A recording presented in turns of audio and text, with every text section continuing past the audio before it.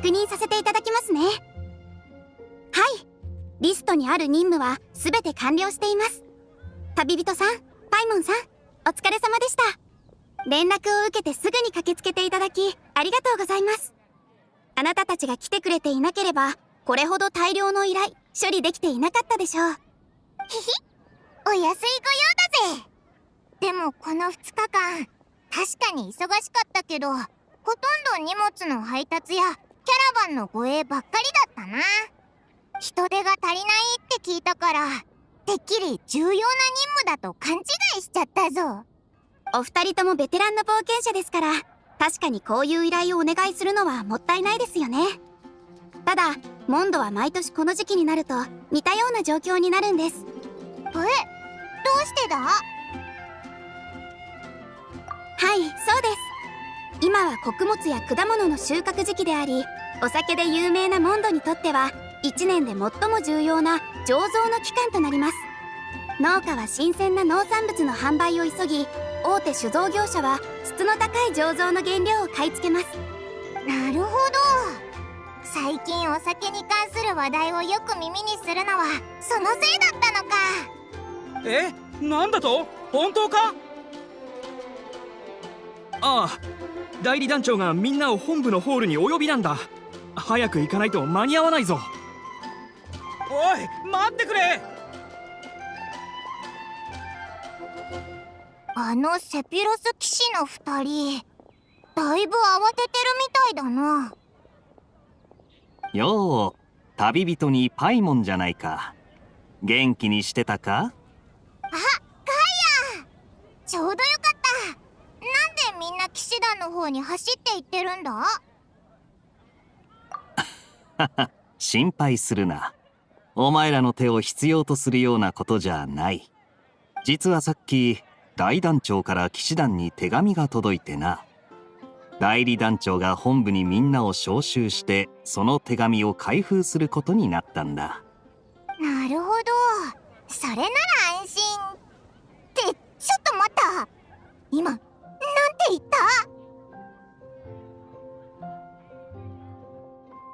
セピロス騎士団の大団長って。噂に聞くあの遠征の指揮を執ってるファルカ団長のことか？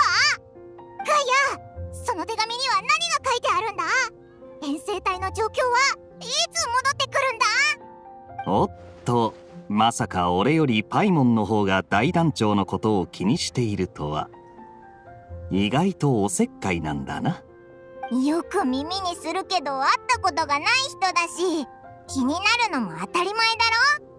ジン団長も騎士団の生きた伝説だっていつも言ってるからおいらすっごく気になってたんだ。それに遠征隊がここを離れてかなり長いよな。それなのに具体的な動きを耳にしないし。代理団長の評価も随分と控えめだな。あの人は伝説と呼ばれるようになるまでの間周りにかなり迷惑をかけてきたんだぜ。詳しくは時間がある時にでも話してやるよ。お前ら随分と興味があるようだしせっかくの機会だ。一緒に騎士団に行ってその内容を聞いてみないか？栄誉騎士もだいぶ顔を出してないだろう。みんな寂しがってるぞ。うん。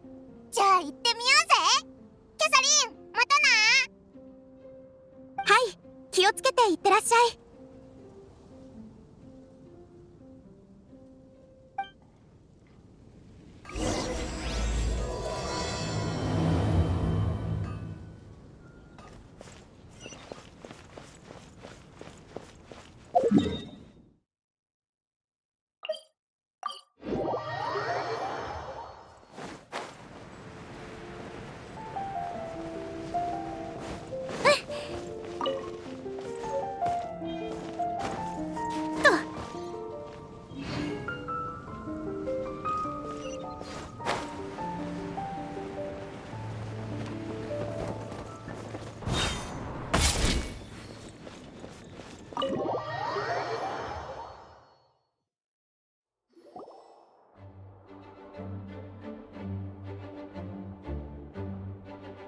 さてどうやら人も揃ったみたいだな。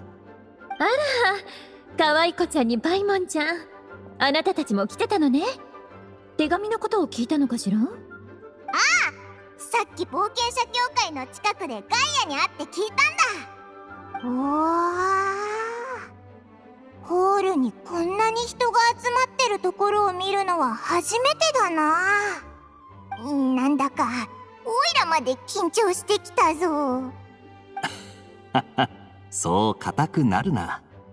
俺が知る限り大団長が手紙なんかを書く暇があるってことは真面目な話じゃない可能性が高い。それに悪い知らせじゃないのも確かだ。ガイアは少し誇張しているけど私も同意見だわ。何しろミカは感情を顔に出しちゃう子だからね階段の手前。ジンの横に立っている子よ。彼は以前エウルアのタイで測量士をやっていたの。測量の才能に恵まれた実直な性格の子よ。遠征隊が出発する際大団長にタイの石膏の要として任命されたの。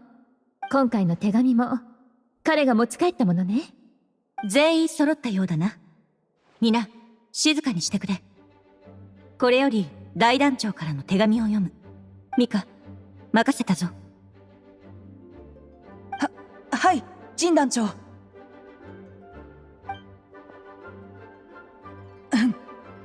皆さんこんにちは。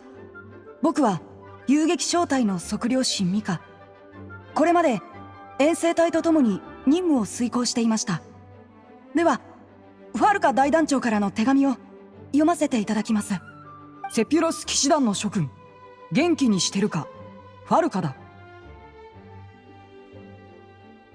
まず最初に伝えたいのは今のところ遠征隊は全員無事だということだ。安心してくれ。よかった。はあ手汗でびしょびしょになってたよ。あの続けていいでしょうか？ああ続けてくれミカ。ということだからこっからの内容はリラックスして聞いてくれたまえ。この手紙を焚き火の横で書いている今俺と遠征隊はテイワットの北境に駐屯している。遠征の目的は過去に残された危険な秘密だと俺は言ったが今もそれ以上のことは言えない。だが任務の進捗について心配無用だということだけは保証する。この2ヶ月の間俺たちは思いがけない人物と出会った。ファデュイの執行官隊長だ。え？隊長？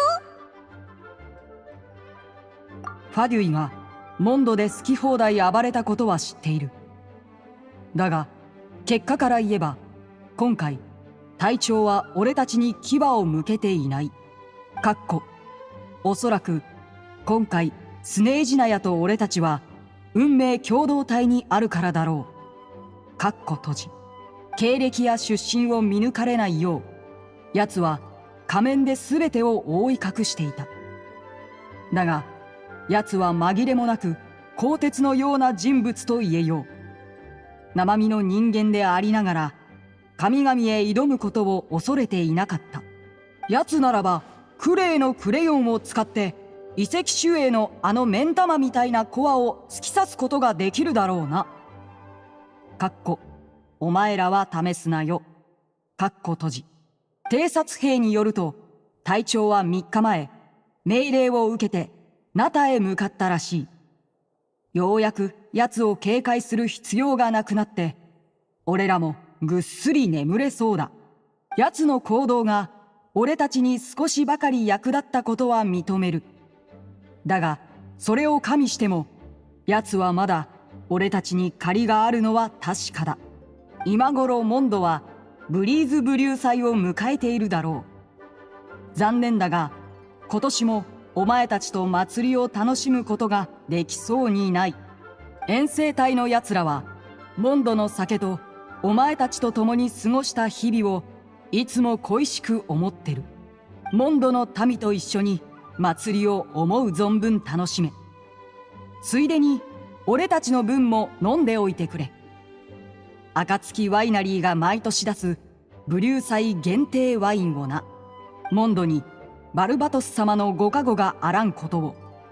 俺たちの思いも風に乗ってお前らのもとへ帰れるように。ファルカ推進隊長と俺どっちがすごいかというとこの俺に決まってる。隊長なんざ騎士団には10人もいるんだからな。はあはあはあ。手紙の内容は以上です。ありがとうございました。ミカご苦労だった。陣団長その手紙の最後のページの裏にも何か書いてあるようです。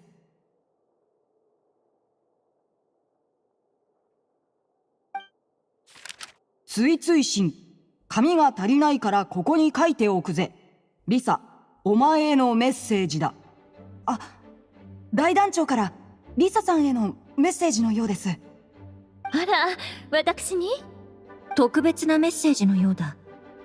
リサまた後でゆっくり話そう。皆大団長が言ったように数日後に武流祭が開催される。このタイミングで遠征隊から無事を知らせる頼りが届いたのは幸運なことだろう。彼らはモンドに戻り共に祭りを楽しむことはできない。だが武流祭は皆が楽しみにしている行事だ。離れた地で頑張る遠征隊のためにもそして勤勉なモンドの人々のためにも各自持ち場を守り職務に励んでほしい。もちろん休みの間は適度にリラックスしてくれ。久方ぶりの祭りを楽しんでほしい。今日の会合は以上だ。解散。ファデュイの隊長の話が出てくるなんて。オイラの聞き間違いじゃないよな。なんだか重大な事件の匂いがするぞ。でもファデュイのことなんか一旦忘れようぜ。それよりもブリュー祭ってタダで飲み食いできるお祭りっぽくないか？もっと情報はないのか？可愛い子ちゃんたち一緒にジンとお話ししない？さっきは人が多すぎて挨拶もできなかったでしょ？うんそうだな。早速神団長のところに行こうぜ。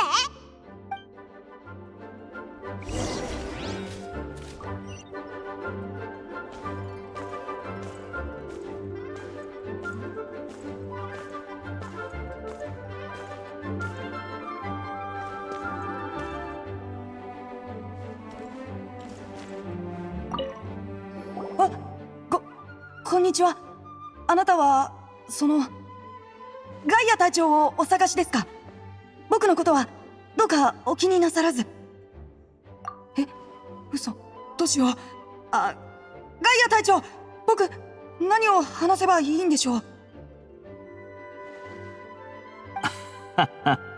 遠征隊に長いこといたのに相変わらずだな。さっき流祭について俺に聞いただろう？今お前の目の前に立っているのがあの伝説の栄誉騎士だ。えへん。そしてオイラが伝説のパイモンだ。み皆さんどうもお強いのですね。ぼ僕感激しました。あのエウラ隊長に報告しないといけないので先に失礼します。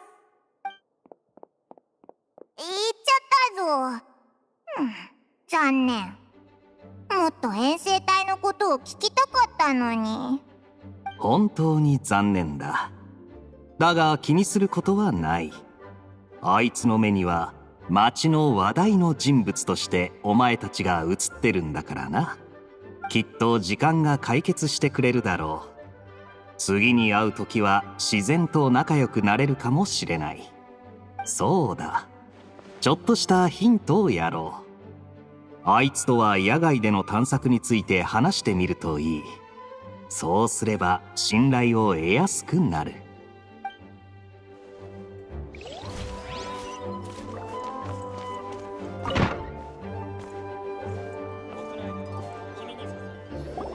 来たかリサ。大団長の手紙はそこのテーブルの上にある。旅人にパイモン。久しぶりだな。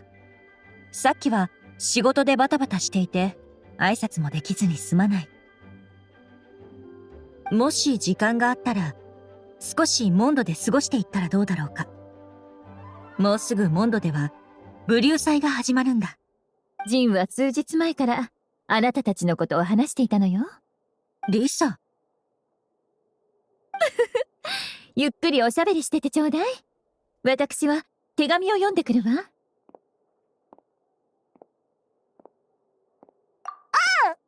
モンドはオイラたちにとって旅の原点とも言える街だからな。大切な思い出もたくさんあるし。そうだ。ジン団長ブリュー祭についてオイラたちあんまり詳しくないんだ。どんなお祭りなのか教えてくれないか？ああもちろん。ブリュー祭はバドルドー祭やウィンドブルーム祭と同じく古くからあるモンドの伝統的な祭りで周期の重要な行事でもある。毎年秋になるとモンドには西風が吹き始める。これは収穫期に漂うお酒の香りが魅力的でお酒を愛する風神を引き寄せるからだと言われている。どこにいようと。あの方はそよ風となって故郷に帰ることができるんだ。おおまさに風神のイメージ通りだな。そのためモンド人は西風をブリーズと呼びブリュー祭はバルバトス様を迎える祭りとして始まったという。かつてはこの時期になると住民たちは新しくお酒を作り翌年のブリュー祭のブリーズデーまで開けないようにしていた。人々が熟成したお酒を開けるということには風神を招いて共に飲むという意味がある。風神がそのお酒の味を気に入れば喜んでそよ風を呼び尊い祝福を与えてくれるという言い伝えがあるんだ。あいつの性格からして来年もみんな美味しいお酒が飲めますようにとかじゃないか？祝福の具体的な内容は私もよくわからない。これらの言い伝えはあまりに古く細かな内容は失われてしまっているんだ。時代を超えて語り継がれてきたものって全く別の形になってたりするからな。例えばモンド人は風の花はどの花なのかって議論したりするし。いわゆる民間伝承の一つね。ああ本題に戻るがブリーズデーでは風神を祀るという風習が今でも残っている。そしてこの祭りもモンド人が収穫の喜びを分かち合い美酒を味わう祝日になっているんだ。毎年この時期になると異教を旅しているモンド人が故郷に帰ってくる。モンドに帰ることができない人であればブリュー祭の時期は最も故郷や家族が恋しくなるんだ。おお!だから大団長も手紙に「俺たちの思いも。風に乗ってお前らの元へ帰れるように」って書いてたんだな。今年のイベントはセピロス協会と冒険者協会が協力して清泉町郊外のシードル湖で一緒に祝うことになってる。そして期間中は伝統的なブリューフェアを開催するんだ。ブリューフェア？ああこれはもともと酒造業者と農家がお酒の原料を取引するための市場だった。今では出来上がったお酒だけでなくこの時期にしか口にできないジュースやお菓子がたくさん並びさらにはリユース品や手工芸品を人々が売っている。この機会に騎士団は町のお年寄りや子供たちのためにチャリティーショップを開くつもりだ。おおなんだか面白そうだ時間があれば散策してみるといい。欲しいものに出会えるかもしれない。ところでリサ大団長からのメッセージは何だったんだ？ええ。私もちょうど相談しようと思っていたところよ。大団長にレザーの身分に関する仕事を依頼されたの。レザーは放浪寮の狼に育てられたって言ってたぞ両親が誰なのか知らないしあいつの話によると狼たちがルピカ。つまりあいつの家族なんだろ？私が知っている情報とほとんど同じね。でも大団長曰く時計の右側にある3番目の棚の一番上に木箱が置いてあるらしいの。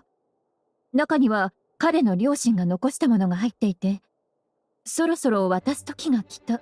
とのことよ。つまり大団長はレザーの両親のことを知ってたんだな。ええそういうことになるわ。大団長とレザーの関係は単に放浪寮で出会って剣術を教えただけではなかったのね。よし。じゃあ早速レザーを探しに行こうぜ。実の親に関する情報ならあいつにとってきっと重要なことだろ。ええそうねすべてお見通しなのね。さすが可愛い子ちゃん。これまで自分とは関係のなかった本当の両親。普通の子なら簡単に受け入れられる話ではないわ。ましてやレザーはずっと放浪寮で生活してきた。人間社会との関わりが少ない子よ。心の準備ができるかどうか。しかし大団長もきっとその点を考慮しているはずだ。もしかしたらレザーのことを考えた上でこのタイミングを選んだのかもしれない。それも一理あるわ。可愛い子ちゃんたちお願いがあるんだけどレザーと話してきてくれないかしら。レザーは私のことを師匠として見ているから悩みがあっても全てを打ち明けてはくれないの。あなたたちはレザーの信頼できる友人でしょ？こういったことなら私よりも話しやすいかもしれないわ。ええよろしく頼むわね。それからできればたくさん元気づけてあげて。あの子くらいの年頃はケアとサポートが最も大切だから。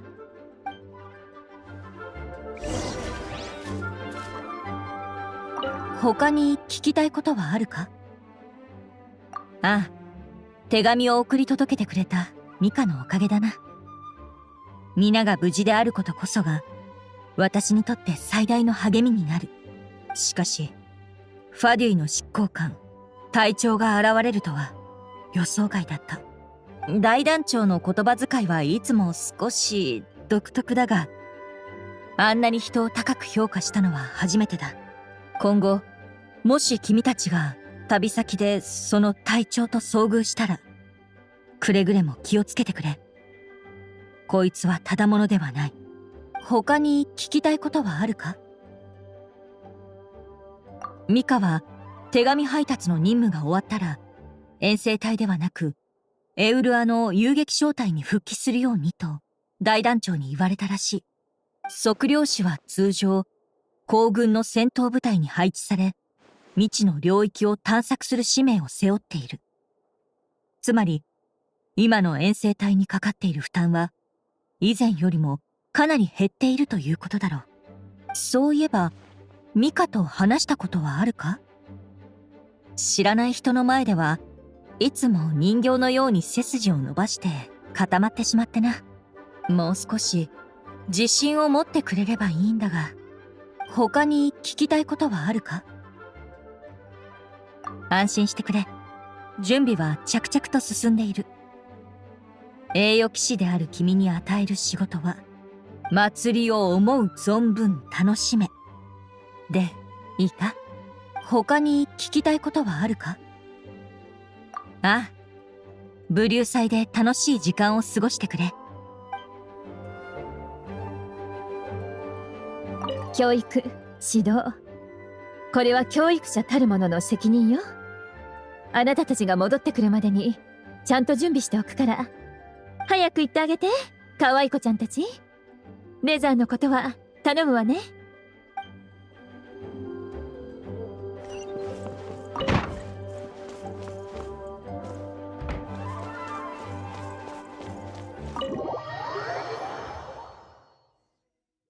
ザーは普段放浪寮のあたりにいるよな。さっきの話を知ったらどんな反応をするんだろう。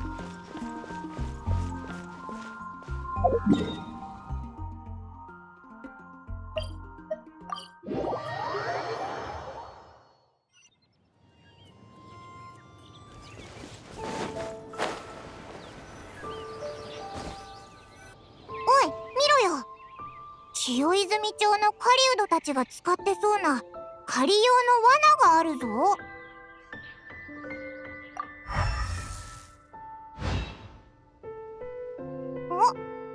何か見つけたのか？雷元素の痕跡。あまさかレザーか？おかしいぞ。以前は狩人たちが活動するエリアを避けてたのに。とにかく痕跡をたどって探してみよう。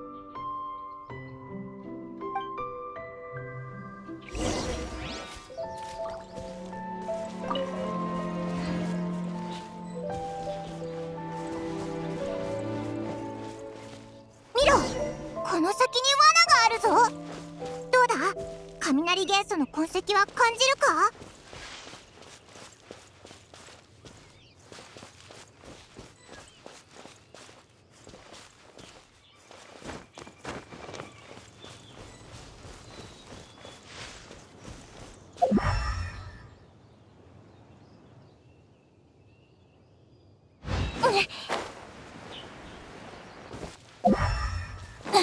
雷元素の痕跡は航路量の奥まで続いてるみたいだ。このまま先に進もう。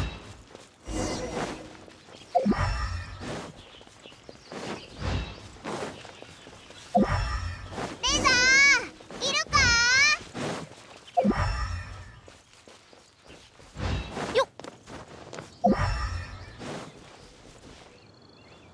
よし。これで最後の罠も設置完了だ。レザーここまでついてきてくれてご苦労だった。平気。走るのは得意。レザーどうしたんだ？知ってる。匂い。遠くから帰ってきた。友達。レザー！あれ？ルラフも一緒にいるもしかして一緒に狩りをしてたのか？ああちょうど収穫期に入ったからな。イノシシがよく町やワイナリーのあたりで食べ物を探し回ってるんだ。農作物を踏んづけたりブドウ棚を倒したりするならまだマシなんだが。人を怪我させちまったら大変だからな。安全なエリアからイノシシを追い出すためにセピロス騎士団の人が俺たち狩人に声をかけてくれたんだ。茶色の猫おじさんとイノシシを捕まえてみんなを守る。おほレザーもずいぶん成長したな。以前は狩人たちを避けてたのに。そう言うな。今回うまくいったのはレーザーのおかげなんだ。こいつが狼に話を通してくれたことでここらで狩りをしている間戦闘を避けることができたんだからなみんなとルピカの役に立てて嬉しい。でもたくさん話す必要があるから疲れる。でもオイラたちレザーに伝えなきゃいけない大事なことがあってここまで来たんだ。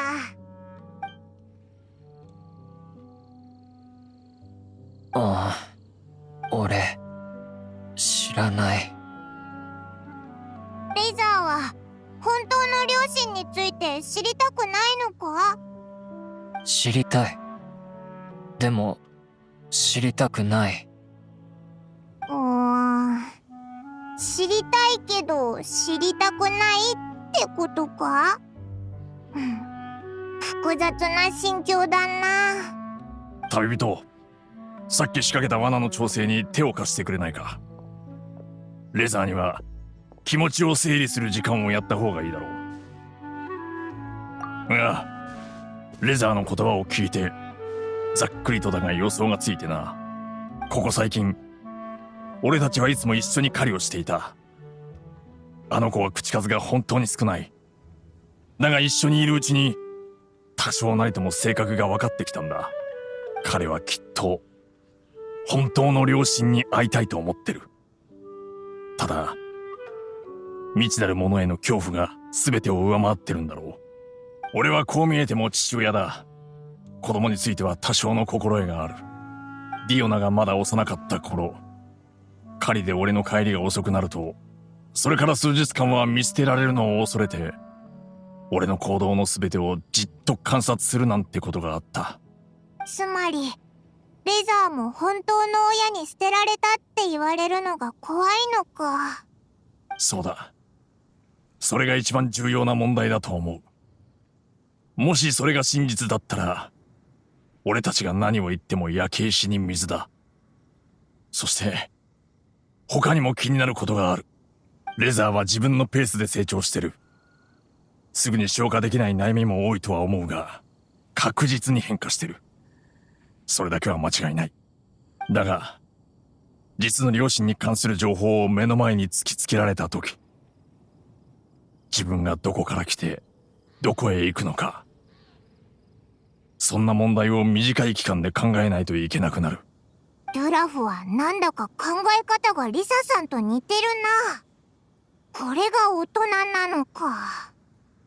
別の立場の人だと確か神団長はこんなようなことを言ってたよな。人を信じて直感を信じるって。お前はどう思う？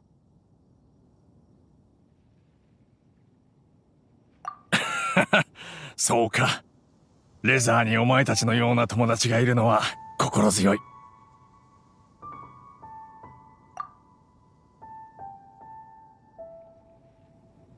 おうラジャーたち。じゃあレザーを待たせないように早速実行しようぜ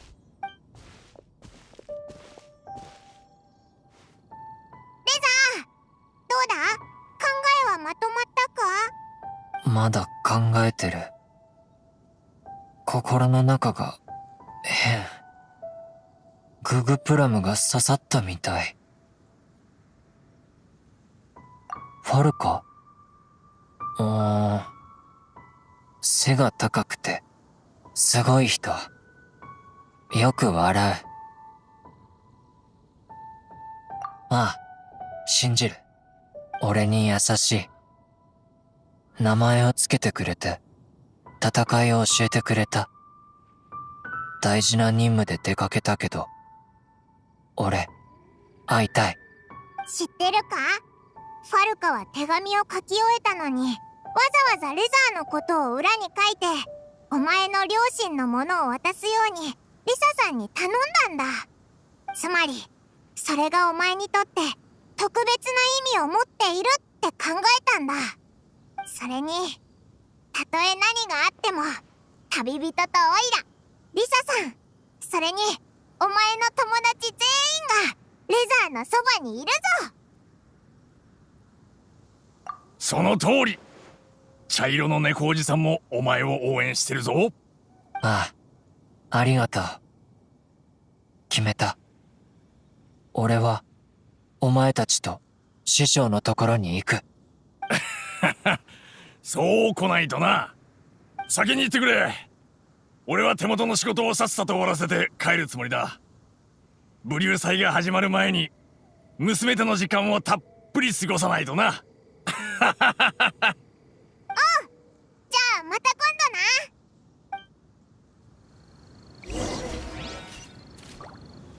今度な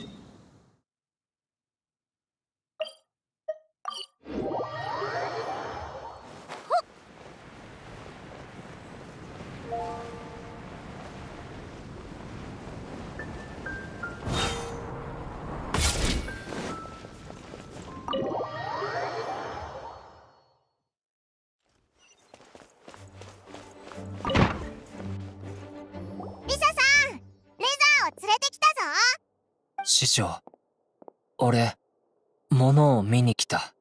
あら、狼ちゃん。元気そうでよかったわ。もう二人から説明を受けたようね。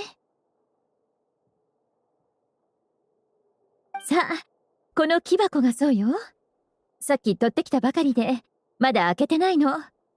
もし決心がついたら自分の手で開けてみてうん。もうついてる。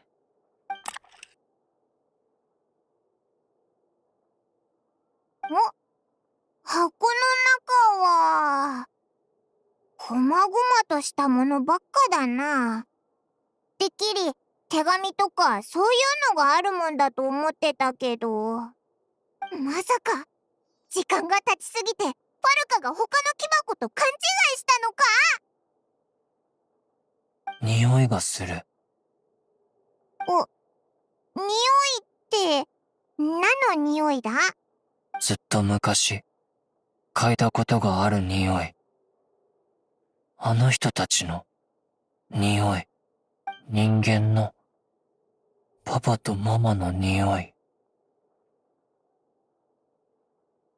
子供の頃に嗅いだ匂いを覚えているなんてそんなことあるのねさすがレザーの嗅覚。野生じみた感覚も一種の才能なんだろうな。他にも手がかりがないか見てみようぜ。あれ？この毛糸のぬいぐるみ。うーん、なんだか歪んでるけど、手作りだよな。お？こっちは遺跡守衛のパーツっぽいぞ。おい、見ろよこのボトル空じゃない。まだ半分以上お酒が残ってる。それに、紙が貼ってあるぞ。サウザンドサウザンドウィンドブリュー。あら？そのボトルの中身サウザンドウィンドブリューなの？師匠、知ってるのか？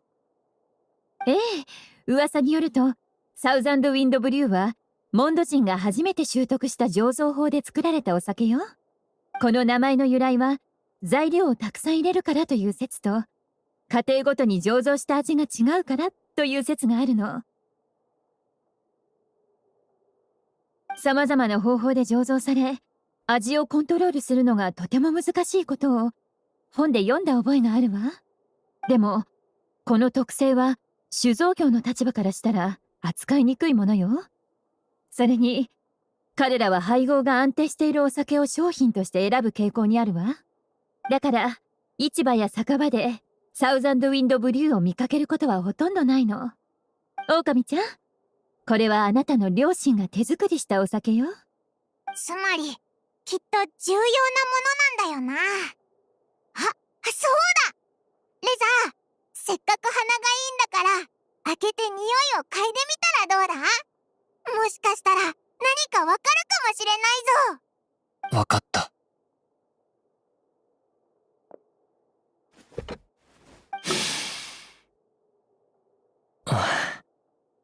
あれすごく真剣に嗅いでるぞ。しかも、笑った？どう？甘くて、ひんやりしてて、ちょっと苦い。好き。いろんなものが入ってる。でも、本来の匂いとは少し違う。レザーですら違いがわからないのか？もう少し嗅いでみる。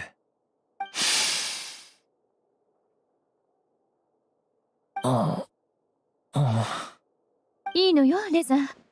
自分を追い込む必要はないわ。うまくいかない時はどうすればよかったかしら？違う方法を試す。その通り。偉いわ師匠の言葉をよく覚えてたわね。そろそろブリュー祭の時期よ。お酒に詳しい人がモンドに集まってくるから。きっとサウザンドウィンドブリューの詳細を知っている人も現れるわ。そうかその手があったな。開幕式はとても盛り上がるから。可愛い子ちゃんたちも見逃さないでね。レザーも一緒に会場に行って聞き込みをするといいわうん。たくさん聞いてみる。そばにいてやるから安心しろオイラたちはええー、っとお前がデュラフと狼たちの間を取り持ってくれたように架け橋になるぜわかった。じゃあ、俺先に帰る。人間のパパとママのこと、ルピカに教える。開幕式でまた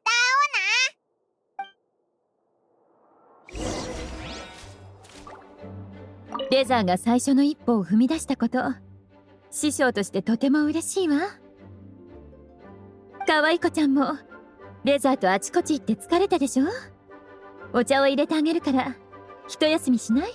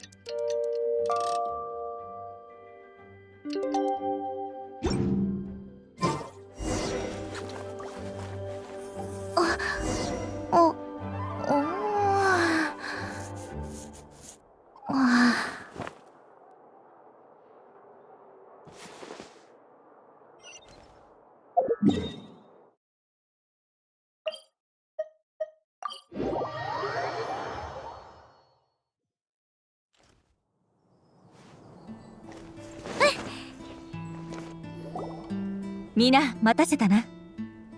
今年のブリュー祭も無事に開幕できた。祭りの期間はモンドの住民の方々をはじめ世界中から訪れた人々が美酒を分かち合い収穫の喜びを満喫できることを願う。ブリーズデー当日は風神バルバトスの帰還を迎えるために這い上げの儀を行う予定だ。風の導くままに。風の導くままに。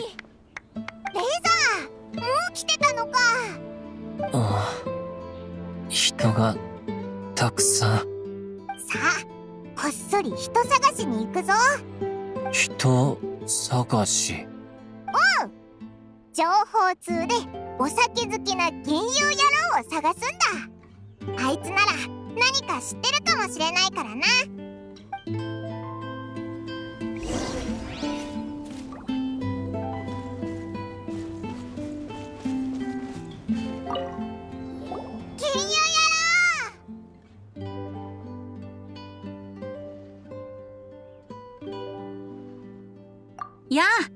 旅人にパイモンこの素晴らしい祭りの時期なら君たちに必ず会えると思ってたよ。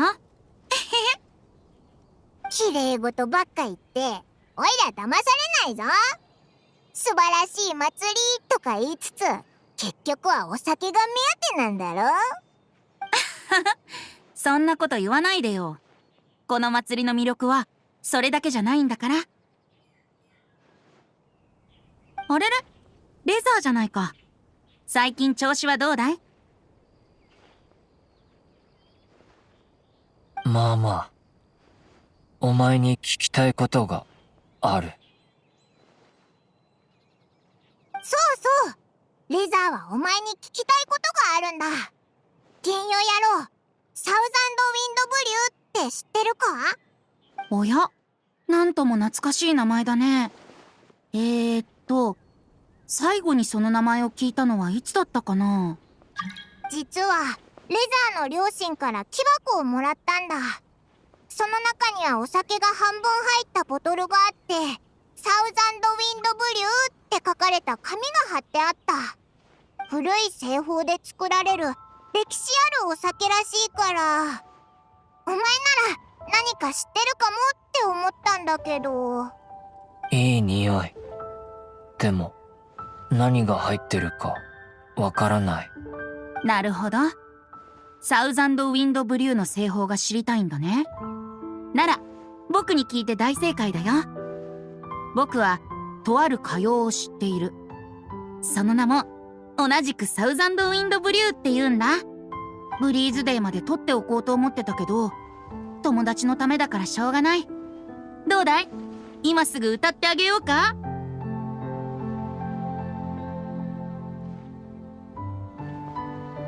かようよくわからない。でも聞きたい。悪くない返事だね。じゃあ始めるよ。これらを樽に封印し焦らず待つのだ。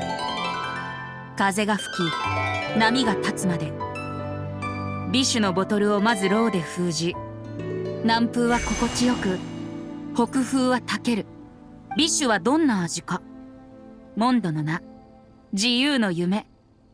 何を発行させビシュとなったのか。探求する勇気。優しさに満ちた慈愛。守護の執念はありし日のまま。歌いを掲げる旋風とともに。酸味ある雫は甘くなり粗雑な樽は潤わん。焦らず待つのだ。風が吹き波が立つまで。拍手ありがとう。この歌謡はみんなの役に立ったかな。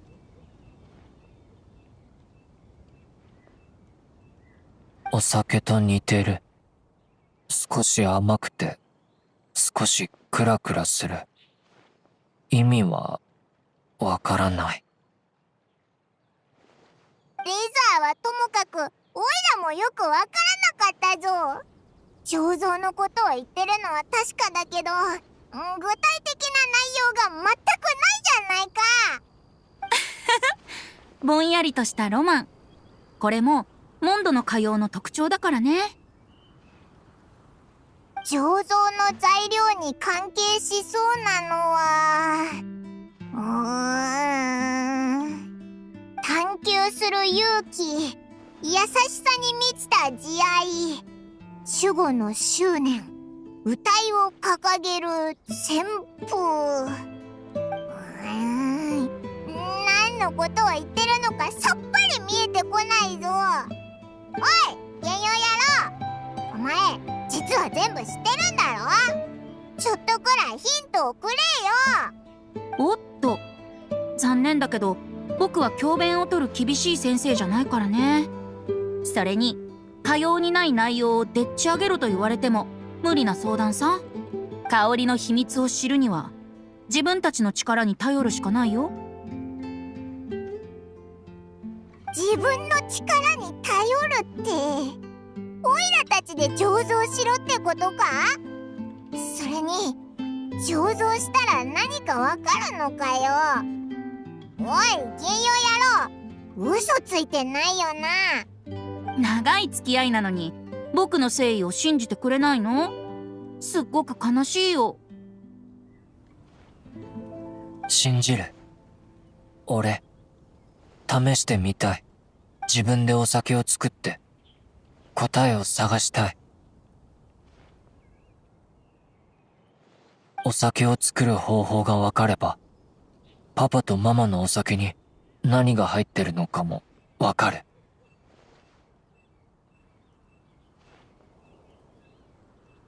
ああ。その人たちのこと知りたい。レザーがこう言ってるし原油野郎のことを信じよう。初めてのお酒作りだ。失敗したって別に恥ずかしくないぞ。安心して。自由にやればいいさ。思ったより難しくないから大丈夫。楽しく。真摯な気持ちで取り組めば必ず期待通りの結果を得られるはずだよ。うん。かよう師匠に聞かせる。それから自分で考えてみる。おうその意気だぜ。じゃあ2日後にまた会うってことでいいか？場所は同じくここにしよう。ああ覚えた。じゃあまた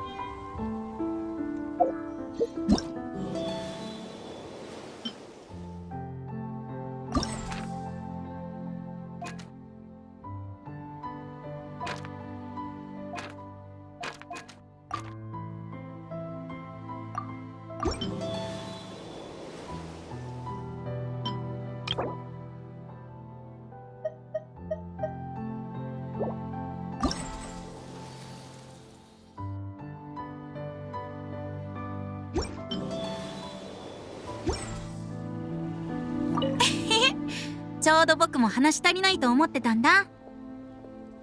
おや？じゃあもう一度あの部分を歌うね。これらを樽に封印し焦らず待つのだ。風が吹き波が立つまでビッシュのボトルをまず蝋で封じ南風は心地よく北風はたける。美酒はどんな味かモンドの名自由の夢。何を発行させビシュとなったのか。探求する勇気。優しさに満ちた慈愛。守護の執念はありし日のまま。歌いを掲げる旋風とともに。酸味ある雫は甘くなり粗雑な樽は潤わん。焦らず待つのだ。風が吹き波が立つまで。モンドの祭りはどれも好きだけどブリュー祭は特に気に入ってるんだ。西風が吹き終わると風神は眠りにつく。残りの冬は風神の管轄外の北風に委ねる。つまり冬眠前のごちそうなんだ。あの子のことならあまり心配する必要はないよ。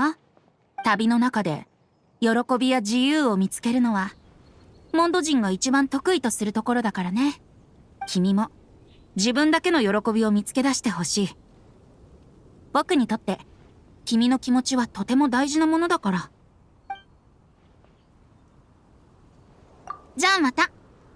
焦らずじっくりと答えを見つけてね。